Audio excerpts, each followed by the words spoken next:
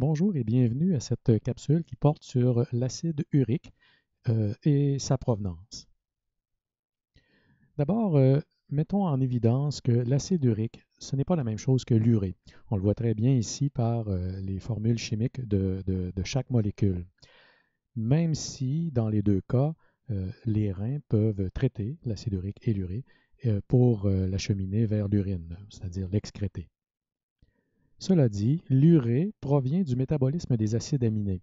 Je vous invite à revoir notre capsule sur euh, la néoglucogénèse et on y voyait très bien qu'à partir euh, du métabolisme des acides aminés, on se retrouvait avec de l'ammoniac qui lui-même finissait euh, par être converti en urée.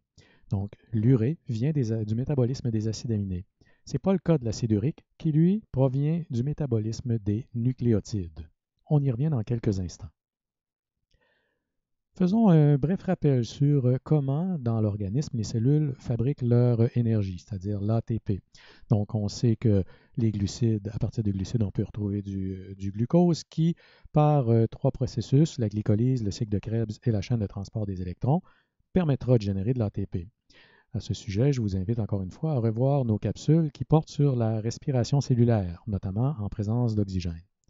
Cela dit, le glucose, on peut l'obtenir d'une autre manière. On peut, à partir de triglycérides, générer du glucose ou encore à partir des triglycérides, on pourra aussi générer des intermédiaires qui pourront rentrer dans le cycle de Krebs, par exemple, pour également mener à la chaîne de transport des électrons et de l'ATP.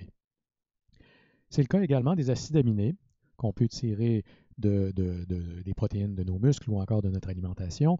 Et ces acides aminés-là peuvent, dans certains cas, être convertis en glucose ou encore en molécules intermédiaires qui pourront, à leur tour, euh, euh, s'insérer dans le cycle de Krebs et la chaîne de transport des électrons pour générer de l'ATP.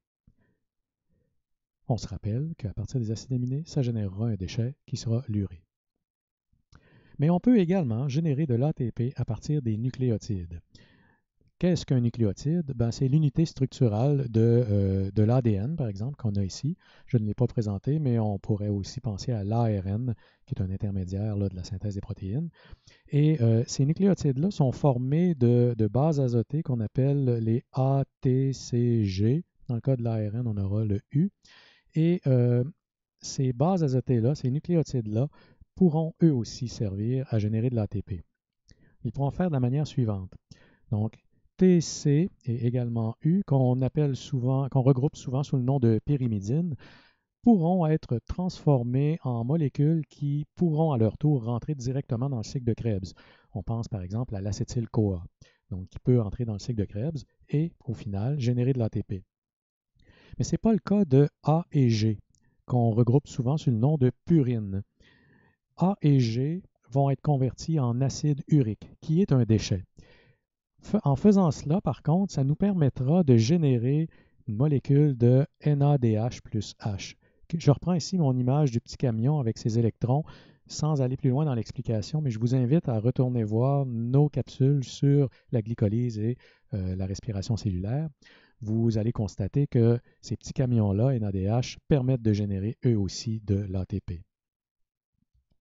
L'acide urique, donc, normalement, euh, est associé à, un niveau faible dans le sang parce que les reins, euh, s'ils font bien leur travail, ben, permettent de l'excréter dans l'urine.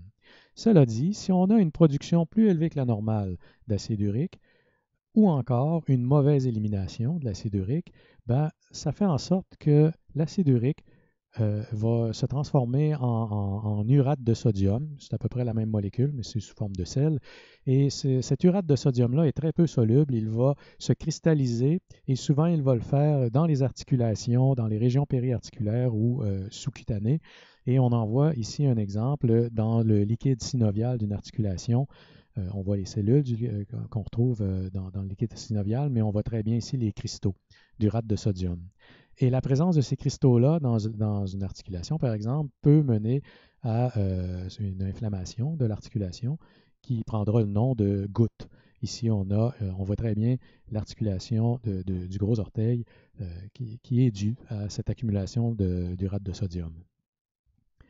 En résumé, si je reprends ma figure du départ, le glucose qui permet de faire de l'ATP, on peut l'obtenir directement des glucides, mais on peut aussi l'obtenir des triglycérides ou encore des acides aminés. Mais cette figure-là, au départ, n'était pas complète parce qu'on peut aussi y ajouter les nucléotides qui permettront eux aussi de générer de l'ATP. Cela dit, chacune de ces voies-là génère un déchet. Les triglycérides, on n'en a pas encore parlé, mais euh, génèrent euh, les corps cétoniques, qui sont un déchet. Les acides aminés, on l'a évoqué, génèrent euh, un, un, déchet qui s'appelle l'urée. Et les nucléotides, eux, génèrent un déchet qui s'appelle l'acide urique.